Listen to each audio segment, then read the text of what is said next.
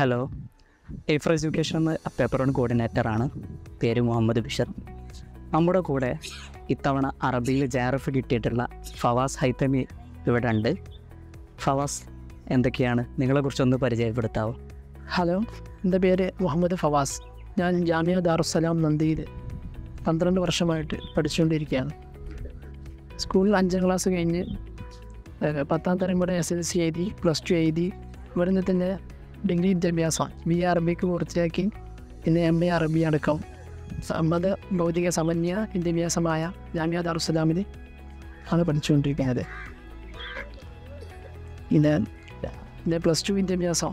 Plus two വിദ്യാഭ്യാസത്തിന് ശേഷമാണ് M A അറബി ബി എ അറബി ചെയ്യണം.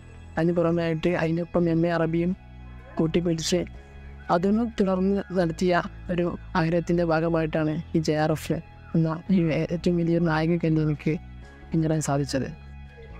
ഫവാസിനെ സംബന്ധിച്ചിടത്തോളം ഇപ്പോൾ ഫവാസ് പറഞ്ഞതിൽ നിന്ന് നമ്മൾ മനസ്സിലാക്കിയത് അഞ്ചാം ക്ലാസ് കഴിഞ്ഞതിന് ശേഷം പിന്നീട് ഫുള്ള് ഡിസ്റ്റൻസ് ആയിക്കൊണ്ടാണ് ആ ഒരു മൂഡിലാണ് പഠിച്ചത്.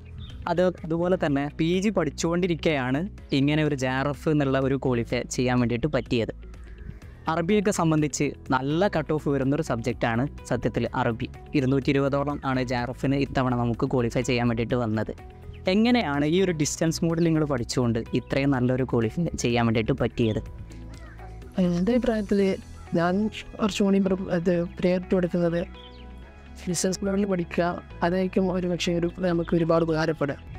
കാരണം ഞാനിങ്ങനെ പത്താം തരം ഇവിടുന്ന് പഠിച്ചു പ്ലസ് ടു ഇവിടുന്ന് പഠിച്ചു എക്സാം എല്ലാം സ്കൂളിൽ ഒരു ഡിസ്റ്റൻസ് ആയിരുന്നു. പിന്നെ പി ജി ഡിഗ്രി ഡിഗ്രി എടുക്കുമ്പോൾ M A B A M എടുക്കുമ്പോൾ കാര്യമായിട്ട് ക്ലാസ്സുകൾ ലഭിച്ചിരുന്നില്ല. പിന്നെ നമ്മൾ സ്വന്തം റിസ്ക് എടുത്തു സ്ഥാപനത്തിൽ പോയി പഠിച്ചതാക്കിയപ്പോൾ ഏകദേശം ബി എ ബി സ്വായത്തമാക്കാൻ സാധിച്ചു.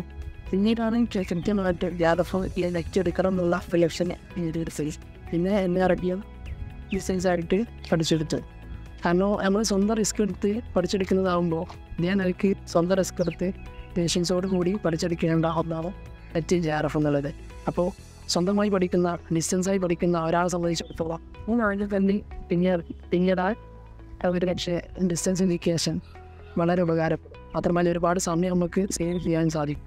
ടൈഫർ എഡ്യൂക്കേഷന് നിങ്ങളെ ജെ ആർ എഫ് ചെയ്യണിയിൽ എത്രത്തോളം സഹായകമായിട്ടുണ്ട്? ടൈഫറിന്റെ ഏതെങ്കിലും ഏതൊക്കെ പ്രത്യേകതകളാണ് നിങ്ങളെ സ്വാധീനിച്ചിട്ടുള്ളത്? എന്റെ ജെ ആർ എഫ് ജേണി അല്ലെങ്കിൽ നെറ്റ് ജേണിയുടെ വേണ്ട ഒരു അഞ്ച് വർഷം ഇത്രത്തോളം പറയാം. അതായത് കൃത്യമായി പറഞ്ഞാൽ ഞാൻ പ്ലസ് ടു പഠിച്ചുകൊണ്ടിരിക്കുമ്പോൾ എന്റെ ഉസ്താദ് നെറ്റ് എക്സാം എഴുതുന്നത് കണ്ടു. ഞാനങ്ങനെ ഡിസൈനായിട്ട് ഉസ്താദ് പോയി കണ്ടു ക്വസ്റ്റ്യൻ പേപ്പർ വാങ്ങി വെച്ചു. പിന്നീട് അത് വിട്ട്. പിന്നെ അത് കഴിഞ്ഞ് ഡിഗ്രി എടുക്കുന്നു. ഡിഗ്രി എടുക്കാൻ സമയത്ത് ബി എ പൊളിറ്റിക്സ് എടുക്കാൻ പോയാൽ ഞാൻ ജ്യേഷ്ഠൻ പറഞ്ഞ പ്രകാരം ബി എ അറബി എടുത്ത്. പിന്നീടാണ് കൃത്യമായിട്ട് എന്റെ ഒരു ഇത് മാറുന്നത്. പിന്നെ ആ ലക്ഷ്യം യഥാർത്ഥ നെറ്റ് എന്ന ലക്ഷ്യത്തിലേക്ക് കടക്കുന്നത്. പിന്നെ അങ്ങനെ ബി ആർ അറബി കഴിഞ്ഞു. എം എ അറബി ചെയ്തുകൊണ്ടിരിക്കുന്ന സമയത്ത് രണ്ടായിരത്തി ഇരുപത്തി രണ്ടിൽ ജൂണിൽ ആദ്യമായിട്ട് അതായത് സെക്കൻഡ് ലോക്ക്ഡൗണിന് ശേഷം സെക്കൻഡ് ലോക്ക്ഡൗണിന്റെ സമയത്താണ് ഞാൻ ഈ പ്രിപ്പറേഷൻ സ്റ്റാർട്ട് ചെയ്യുന്നത്. അപ്പോൾ ഓൺലൈനിലുള്ള യൂട്യൂബിൽ ഒരുപാട് ക്ലാസ്സുകൾ കേട്ടു. ഏകദേശം ഒരു നോട്ടോളം നോട്ടുകൾ എഴുതി പല യൂട്യൂബ് ക്ലാസ്സുകൾ ഞാൻ കേട്ടിട്ട്. പിന്നെ ചെറുതായിട്ട് അറബിയിൽ പേപ്പർ ടുവിന്റെ കുറച്ച് നോട്ടുകളെല്ലാം നേടിയെടുത്തു. പിന്നെ അവസാന സമയത്ത് എക്സാം എടുത്ത സമയത്ത് ഐഫർ ഒരു അഞ്ഞൂറ് രൂപയുടെ ക്രാഷ് കോഴ്സ് വെച്ചിരുന്നു ഫ്രാഞ്ചൈസ്ഡ് അതിൽ ചേർന്നു. എന്നിട്ട് അങ്ങനെ ഫ്രാഞ്ചൈസ് ക്ലാസ് കഴിഞ്ഞപ്പോൾ എനിക്ക് കൂടിയത് ഈ സംഗതികളെല്ലാം ഈ നിലക്കാണ് ഞാൻ പഠിച്ചതൊന്നും കാര്യമായിട്ട് ഇവിടെ എത്തിയില്ല. ക്രാഷിനെ കുറച്ച് മനസ്സിലായി. അങ്ങനെ ഞാൻ ഫസ്റ്റ് ഓപ്ഷനിൽ ഞാൻ എക്സാം എഴുതി. അന്ന് കട്ട് ഓഫ് നൂറ്റി എഴുപത്തി എട്ടാ തോന്നുന്നു. അപ്പോൾ എനിക്ക് നൂറ്റി എഴുപത്തിനാല് മാർക്ക് ആയിരുന്നില്ല അതിന്റെ അടുത്തെത്തിയപ്പോൾ എനിക്ക് തോന്നി. ഇതൊരു നടക്കാത്ത സംഗതിയല്ല. ആർക്കും നടക്കുന്നതെന്ന് വിചാരിച്ച് പിന്നെ അങ്ങനെ വിട്ടു. പിന്നെ അടുത്ത ഡിസംബറിൽ എനിക്ക് പല കാരണങ്ങളാൽ എക്സാം എഴുതാൻ സാധിച്ചില്ല. പിന്നെ അടുത്ത രണ്ടായിരത്തി ഇരുപത്തി മൂന്ന് ജൂണിലാണ് ഞാൻ അൻപത് ദിവസം മുമ്പ് ഏകദേശം എക്സാമിന് ഒരു അമ്പത് അറുപത് ഇരുപത് രണ്ട് മാസം മുമ്പായിട്ട് ഐഫറിന്റെ സാധാ കോഴ്സ് ചേർന്നു. കോഴ്സ് ചേർന്ന ശേഷം ഓരോ ക്ലാസ്സുകൾ കൃത്യം കൃത്യമായിട്ട് ഇങ്ങനെ കേൾക്കാൻ തുടങ്ങിയപ്പോൾ എനിക്ക് മനസ്സിലായത്. ഞാൻ ഇതുവരെ പഠിച്ച പേപ്പർ കൊണ്ട് ഒന്നും എവിടെയും എത്തിയില്ല എന്നുള്ളത്.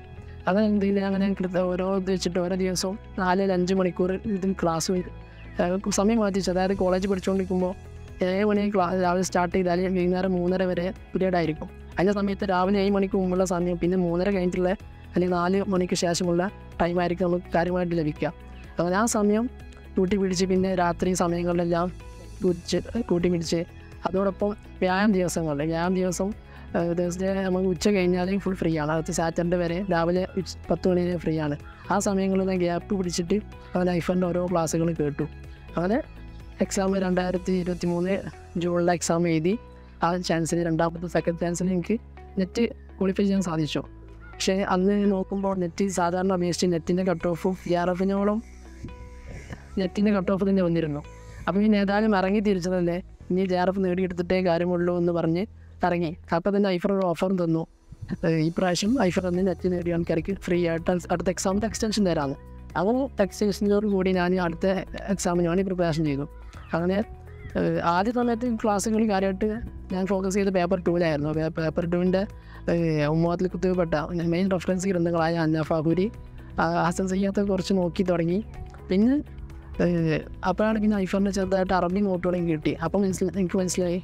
അത് ഏഹ് നമ്മളെ റെഫറൻസ് ഗ്രന്ഥങ്ങൾ നോക്കുന്ന ആവശ്യമില്ല. ഏകദേശം പേപ്പർ പേപ്പർ ടൂവിൽ നിന്ന് നോട്ടുകൾ അത്യാവശ്യത്തിന് ഉണ്ടെന്ന് മനസ്സിലാക്കി. അപ്പോൾ ഇനി അതേപോലെ അവിടെ വെച്ചു. അതോടൊപ്പം പേപ്പർ വണ്ണ് ഒന്നുകൂടി കൃത്യമായിട്ട് ക്ലാസ് കേട്ടു. ഫുള്ളായിട്ട് ഇതിനെ കേട്ട സംഗതികളും പിന്നെ അതിന്റെ ഒപ്പം ലൈവ് കേൾക്കാറില്ല. ലൈവ് കഴിഞ്ഞ ശേഷം റെക്കോർഡുകൾ കേൾക്കും സമയം സേവ് ചെയ്യുന്ന കാരണം കോളേജ് ആയതുകൊണ്ട് സമയം സേവ് ചെയ്യണമല്ലോ. അപ്പോൾ അതിന് ലൈവിന്റെ റെക്കോർഡുകൾ കിട്ടു. കൃത്യമായിട്ട് അതിനെ ഫോളോ ചെയ്തു. പിന്നെ കുഴപ്പമില്ലാതെ അതിന്റെ മോക്ക് ടെസ്റ്റുകളൊക്കെ ചെയ്തു. അങ്ങനെ അവസാനം ഡിസംബറിലെ ചാൻസിൽ എനിക്ക് ജെ ആർ എഫ് നേടിക്കാൻ അലഹമില്ല ജെ ആർ എഫ് നേടിക്കാൻ സാധിച്ചു. ഈ ജെ ആർ എഫ് കിട്ടിയതിന് ശേഷം അന്ന് സത്യത്തിൽ നിങ്ങൾ ഏട്ടനാണല്ലോ ബി എ പൊളിറ്റിക്സ് ചേരുന്നതിന് പകരമായിട്ട് ഒരു ബി അറബിയിലേക്കും തുടർന്ന് എം എയിലേക്കൊക്കെ മാറിയത്. അപ്പോൾ ഈ റിസൾട്ട് കിട്ടിയ സമയത്ത് എന്തായിരുന്നു ഞങ്ങളുടെ ഫാമിലിയുടെ ഒരു അഭിപ്രായം? അവരുടെ നോർമലി എന്റെ കുടുംബത്തിൽ ആ ഒരാൾക്ക് ഈ സംഗതി നെറ്റ് എക്കണോമിക്സ് വഴി നെറ്റ് കിട്ടിയിട്ടുണ്ട്. അതിലപ്പുറത്തേക്ക് കാര്യമായിട്ട് ആരും എല്ലാവരും പ്രോത്സാഹിപ്പിക്കും നല്ലോണം പ്രോത്സാഹിപ്പിക്കും. അപ്പോൾ ഓരോ ലീവിൽ നാട്ടിൽ വന്നാലും ചോദിക്കും എന്തായി എന്തായി അതേമാതിരി ഇവിടുത്തെ ഉസ്താന്മാർ ഓരോ ദിവസം വരുമ്പോൾ അർസ്ലാമി ഉസ്താന്മാർ ഓരോ ദിവസവും പാസാമിന്റെ നെറ്റ് എന്തായി കഴിഞ്ഞോ. പഠിച്ചോ. ഈ സംഗതികൾ കവർ ചെയ്തോ. ഇതിന്റെ ഒപ്പം ഉസ്താദ് അടക്കം എല്ലാവരും കൃത്യമായി ചോദിച്ചുകൊണ്ടിരുന്നു അതേമാതിരി പിന്നെ റിസൾട്ട് വന്നു കഴിഞ്ഞപ്പം ആദ്യ തവണ ഉൾക്കൊള്ളാൻ കഴിയാത്ത രീതിയിലായിരുന്നു എന്റെ മാതാപിതാക്കളെ. കാരണം വെച്ചാൽ നമ്മൾ ഇതുവരെ സ്വപ്നം കണ്ടൊരു സംഗതി നമ്മൾ മുമ്പിലേക്ക് കയ്യിലേക്ക് എത്തി കഴിഞ്ഞപ്പോഴുള്ള ഒരു പ്രത്യേക അനുഭൂതിയും ആകാംക്ഷയുമായിരുന്നു ഫാമിലിയുടെ ഭാഗത്തുനിന്ന് ഉണ്ടായിരുന്നത്. നമ്മുടെ അനീസറുടെ ക്ലാസ്സുകൾ അല്ലെങ്കിൽ അനീസറുടെ പേഴ്സണാലിറ്റി ഇതിനെക്കുറിച്ചൊക്കെ എന്താണ് ഒരു ഹൈഫർ സ്റ്റുഡന്റ് എന്ന രൂപത്തിൽ നിങ്ങൾക്ക് പറയാനുള്ളത്?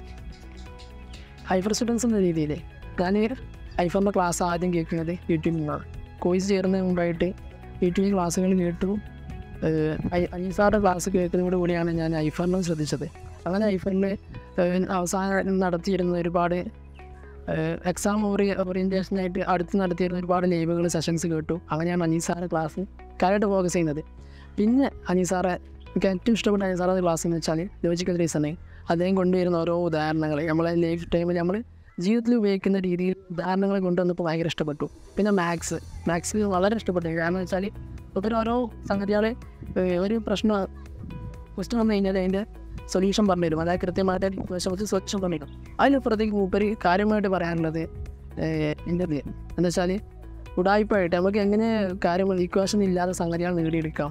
സിമ്പിളായിട്ട് ഇക്വേഷൻ പഠിക്കാൻ വിചാരിക്കുന്നില്ല. ഇക്വേഷൻ സൈഡാക്കുന്ന ആൾക്ക് എങ്ങനെ ഉടായ്പായിട്ട് ക്വസ്റ്റ്യൻസ് നേടിയെടുക്കാനുള്ള എല്ലാ ട്രിക്സും മൂപ്പര് പറഞ്ഞത് ഏറ്റവും കൂടുതൽ ഞാൻ ഏറ്റവും എൻജോയ് ചെയ്ത ക്ലാസ് അനിസാറ് ക്ലാസ് ആയിരുന്നു. ബാക്കി ഞാൻ അപേക്ഷിച്ച് ഏറ്റവും കൂടുതൽ എൻജോയ് ചെയ്യുന്നത് മാത്രമല്ല അത് നമുക്ക് ഈ ഇതിനപ്പുറത്തേക്ക് വൈഡായിട്ട് നമുക്ക് അറിയാത്ത പലതും ലോകത്തിന്റെ എല്ലാ സൗകര്യങ്ങളും മൂപ്പര് ഒരുമിച്ച് വലിയൊരു ജമ്മുമായിട്ടുള്ള ക്ലാസ് ആയിരുന്നു സാറ് ക്ലാസ് മറ്റുള്ള ഫാക്കൽറ്റീസിനെ കുറിച്ച് അതുപോലെ തന്നെ എന്തെങ്കിലും നമ്മുടെ ഒരു എഫറിന്റെ ഒരു മെയിൻ ഫീച്ചർ തന്നെയാണ് ഒരു ഹാപ്പിനെസ് ഓഫീസർ അല്ലേ? വല്ല പ്രയാസങ്ങളോ അല്ലെങ്കിൽ വല്ല ടെൻഷനോ ട്രാക്ക് ഡൗണോ അങ്ങനെ എന്തെങ്കിലുമൊക്കെ ഉണ്ടാകുന്ന സമയത്ത് നമുക്ക് മിത്രമാരെ കോൺടാക്റ്റ് ചെയ്യാൻ വേണ്ടിയിട്ട് പറ്റും. എങ്ങനെയൊക്കെയാണ് അവർ നിങ്ങളെ സ്വാധീനിച്ചിട്ടുള്ളത്? ഐഫറിന്റെ ഫാക്കൽറ്റിയെ സംബന്ധിച്ചിടത്തോളം നമുക്ക് കൃത്യമായിട്ട് പൂർണ തൃപ്തിയാണ് ഹൈഫറിന്റെ ഫാക്കൽസിയെ കുറിച്ച്. അതായത് ഫാമിലിയിൽ കോൾ കഴിഞ്ഞാൽ ജിയോന്റെ ഓഫീസിൽ കോൾ കഴിഞ്ഞാൽ ഏറ്റവും കൂടുതൽ കോൾ ഒന്നും ഉണ്ടാവുക ചീഫ് ഹാപ്പിനെസ് ഓഫീസർ എന്ന് പറഞ്ഞുകൊണ്ട് ഓല മെസ്സേജും ഓല ബ്രോഡ്കാസ്റ്റും ഓല വോയിസുകളായിരിക്കും വിളിച്ചിട്ട് ചോദിക്കും പ്രവാസ് എവിടെ എത്തി തയ്യാറെടുപ്പുകൾ അവിടെ എല്ലാം മോക്കസ് എല്ലാം ചെയ്തോ. വീഡിയോ ക്ലാസ് റെക്കോർഡ് കേട്ടോ. കൃത്യമായിട്ട് നമ്മളെ എന്തോ പൂർണമായി ബന്ധമുള്ള അല്ലെങ്കിൽ ഏറ്റവും ചേർന്ന ഒരാളെ പോലെ കൃത്യമായിട്ട് ഓരോ സംഗതികളും അന്വേഷിച്ച് നടത്താൻ ഐഫർ എല്ലാം നിൽക്കും മുൻപന്തിയിലുണ്ടായിരുന്നു. അറബി പോലെയുള്ള നല്ല ഹൈ കട്ട് ഓഫ് വരുന്ന ഒരു സബ്ജക്റ്റിനെ പ്രിപ്പയർ ചെയ്യുമ്പോൾ ഇനി വരുന്ന സ്റ്റുഡൻസിനോട് നിങ്ങളുടെ സഹോദരങ്ങളോട് എന്താണ് നിങ്ങൾക്ക് പറയാനുള്ളത്? ഓരോ വർഷം കഴിയുന്നോറും അറബീന്റെ കട്ട് ഓഫ് ബാക്കി വിഷയങ്ങൾ അപേക്ഷിച്ച് അറബീന്റെ കട്ട് ഓഫ് കൂടിക്കൊണ്ടിരിക്കുകയാണ്. മാത്രമല്ല ക്വസ്റ്റ്യൻ മെത്തേഡ് ഇപ്പോൾ സ്റ്റേറ്റ്മെന്റ് ടൈപ്പ് ക്വസ്റ്റ്യൻസ് വല്ലാണ്ട് അറബീനേക്ക് വന്ന് കൂടി കൂടിയിട്ടുണ്ട്. സ്റ്റേറ്റ്മെന്റ് ടൈംസ് പേപ്പർ വണ്ണിനെ പോലെ തന്നെ പേപ്പർ ടൂവിൽ അറബീനെ വല്ലാണ്ട് വരുന്നുണ്ട്. അപ്പോൾ മെയിനായിട്ട് ചെയ്യേണ്ടത് വെച്ചാൽ വൈഡ് റീഡിങ്. അത് നമ്മൾ കുറേ കാണാതെ പഠിച്ചു അതിലപ്പുറത്തേക്ക് കുറേ ടെസ്റ്റ് ചെയ്ത് അതിലപ്പുറത്തേക്ക് നമ്മൾ റെഫറൻസ് കിതാബുകളെ. ഇപ്പം അറബി സ്റ്റുഡൻസ് ആണെങ്കിൽ ഹസൻ റിയാത്തിന്റെ ദാരുമില്ലാത്ത പിന്നെ അറബി ഹന്ന ഫാഹുരി ഉമർ ഫാറൂഖ്. അതുപോലെ തന്നെ ഇന്ത്യയിൽ ലഭ്യമാണെങ്കിൽ അതേപോലെയൊക്കെയുള്ള ഇന്ത്യയിലെ ഓരോ കിട്ടുന്ന കിതാബുകൾ അങ്ങനെ എല്ലാ നിലക്കുള്ള ഈ റെഫറൻസ് ഗ്രന്ഥങ്ങളും കൃത്യമായിട്ട് വൈഡ് റീഡിങ്. അപ്പോൾ ഏകദേശം സംഗതികളെല്ലാം കൃത്യമായിട്ട് കിട്ടും. കാരണം ചെറിയ ചെറിയ മൈന മൈന്യൂട്ട് തമ്മിലാണെങ്കിൽ പലപ്പോഴും മൈനസ് വരാറുള്ളത് അല്ലെങ്കിൽ മിസ്സാവാറുള്ളത് അപ്പോൾ കാര്യമായി ചെയ്യേണ്ടത് വൈഡ് റീഡിംഗ് ആണ്.